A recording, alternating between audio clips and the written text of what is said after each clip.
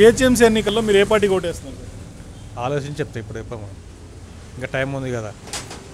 అంటే ఈ మీ బస్తీలో ఇంతవరకు టీఆర్ఎస్లో అధికారం ఉన్నారు వాళ్ళు ఏం చేశారు ఏం చేయలేదు? ఇక టీఆర్ఎస్ ఉన్నంతే కాంగ్రెస్ ఉన్నంతే బీజేపీ ఉన్న ఏ పార్టీలు అంతే ఓటు వచ్చినప్పుడు అవసరం ఉన్నప్పుడే వస్తారు. అవసరం తీరితే మళ్ళీ మామూలు కామన్ అది ఓట్ల ఓట్ల గురించి వస్తారు తర్వాత మళ్ళీ ఎక్కడ మర్చిపోతారు అంటే ఎవరు వచ్చినా మీకు చేసేది ఏం లేదంటారా? అంతే కదా. ఇప్పుడు మా ఎంబడి తిరుగుతారు అయిపోయిన తర్వాత వాళ్ళ ఎంబడి మేము తిరగాల.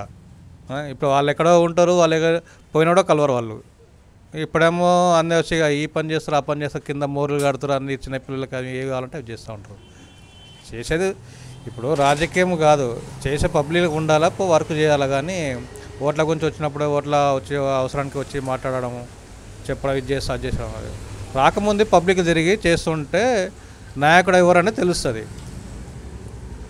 కానీ ఓట్లు పడ్డప్పుడే నాయకుడు కనిపిస్తాడు. ఆ ఓట్లు పడ్డదనుకో నాయకుడు ఎక్కడ ఉంటాడు జనాలు ఎక్కడ ఉంటారు మెయిన్ పబ్లిక్ మారాల. పబ్లిక్ మారితే అప్పుడు నాయకులు మారుతారు. పబ్లిక్ మారేంత వరకు ఈ నాయకులు మారారు? పబ్లిక్లో ఏం మార్పు రావాలని మీరు కోరుకుంటున్నారు? ఏం మార్పు అంటే ఎవరు వర్క్ ఎవరు వేస్తారనేది రావాల.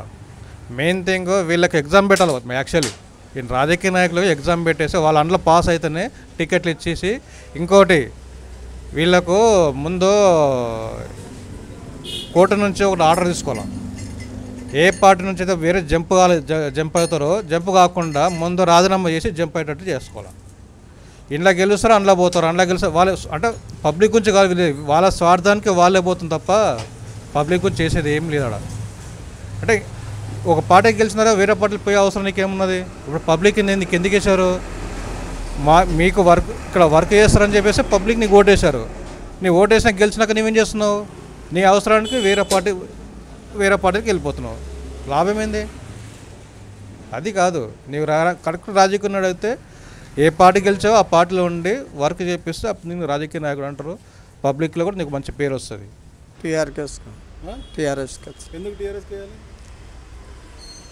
మొన్న పదివేలు ఇచ్చినాడు. అందిందా పదివేలు మీకు? ఉమ్. ఉంది. ఏదో మాకు బోర్ వేపించినాడు కరెంట్ వేపించినాడు ఎక్కడ? దొబ్బిగట్లో ఉమ్. అది. సో మీ దోబిఘాట్ సమస్యలన్నీ టీఆర్ఎస్ తీర్చిందా? టీఆర్ఎస్ మనకి ఏం పని చేయలేదు. కరెంట్ అయితే వేపించినాడు ఆ రోజు మేము ఎలక్షన్లో ఆయన గెలిపించినాం. గెలిపించే సంజయ్ గౌడు మాకు దొబ్బిగట్లో కరెంట్ ఇప్పిస్తున్నాడు కరెంట్ ఇప్పించినాడు జిహెచ్ఎంసీ ఎన్నికల్లో మీ ఓటు ఎవరికి వేస్తున్నారు? టీఆర్ఎస్కి వేస్తాం సార్. ఎందుకు టీఆర్ఎస్ చేయాలి కొద్దిగా పని మంచిగా చేశారు కదా సార్. ఏం చేశారు మీకు? మీకు ఏం మీకు మాకు ఏం చేయలేదు. మా బస్తీకి మంచిగా చేశారు అది. అది వరద వచ్చారు కదా కొంతమందికి ఇచ్చారు కొంతమందికి ఇవ్వల. ఉన్న వాళ్ళకి ఇస్తున్నారు వాళ్ళు. అది. మీకు అందిందా? మాకు లేదు ఏం. మీ ఇల్లు మునిగిపోయినాయా కొద్దిగా నీళ్ళు వచ్చినాయి. మరి మీరు అప్లై చేశారా మీ సేవ సెంటర్లో? అప్పుడు చాలా చాలా మంది ఉన్నారు జనాలు. అప్లై చేయలేదు. అయినా కూడా మీ ఓటు టీఆర్ఎస్కి వేస్తారు వేద్దాం వాళ్ళే చేస్తున్నారు కదా వర్క్. ఏదైనా ప్రాబ్లం ఉంటే చెప్తే వస్తాడండి. వచ్చి ఇలా మీకు డ్రింకింగ్ వాటర్ కానీ ప్రాబ్లమ్స్ లేవు ఈ బస్తీలో? ఇక్కడ డ్రింకింగ్ వాటర్ అయితే లేదు సార్. కానీ ఓన్లీ డ్రైనేజ్ ఒక ప్రాబ్లం ఉంది. వాటర్ మెయిన్ రోడ్ మీదకి వెళ్ళిపోతుంది. అది ఒక ప్రాబ్లం. సాల్వ్ చేయలేదు కదా మరి ఇన్ని రోజులు గవర్నమెంట్లో అయినా కూడా టీఆర్ఎస్కి ఓటు ఎందుకు అప్లికేషన్ ఇచ్చినామండి. జిఎస్ఎంకి ఇచ్చాము. వాళ్ళు వస్తున్నారు అన్నాడు ఇంకా రాలేదు వాళ్ళు. మొన్ననే మేము ఇచ్చాము వాళ్ళు కంప్లీట్ ఇంతవరకు రాలేదు. టూ డేస్ వస్తారు అని చెప్పారు కానీ మీ ఓటు మాత్రం టీఆర్ఎస్కి వేస్తారు ఏదో ఏదో మంచి పనులు చేస్తుంది కదా సార్ అట్లా అట్లానే. మీరు సార్ ఎందుకు టీఆర్ఎస్కి వేయాలి మీరు?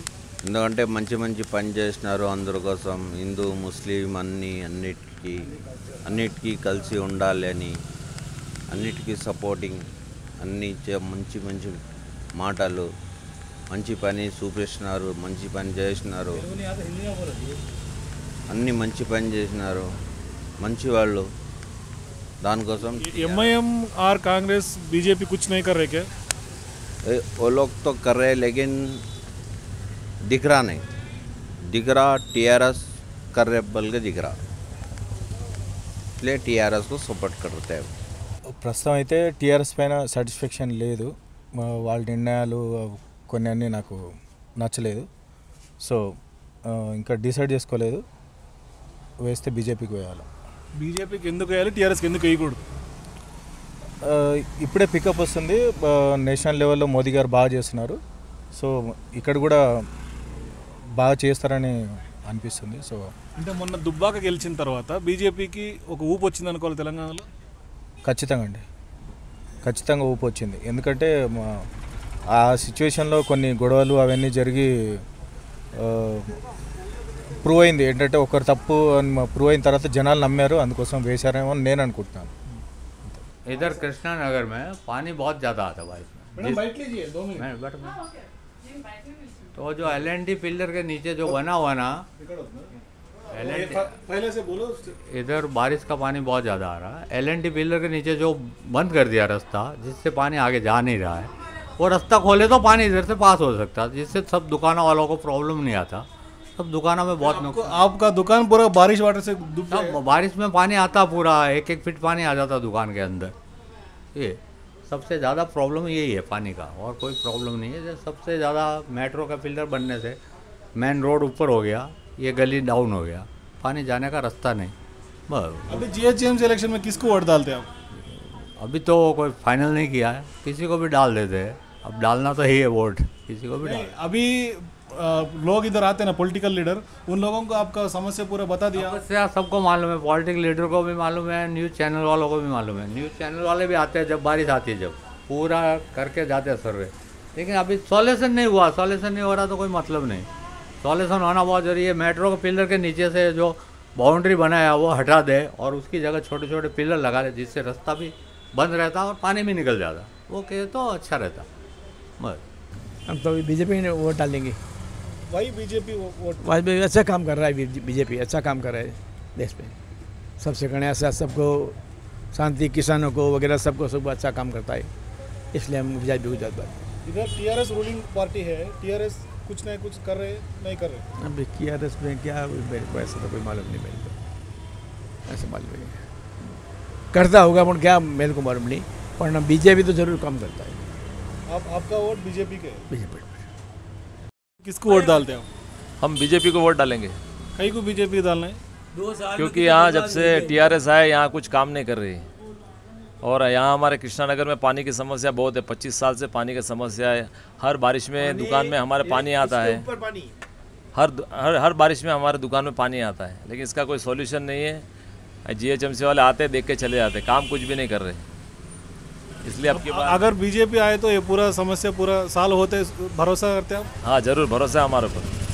बीजेपी के ऊपर बीजेपी के ऊपर भरोसा है हंड्रेड परसेंट काम करेगा उन्होंने के बाद।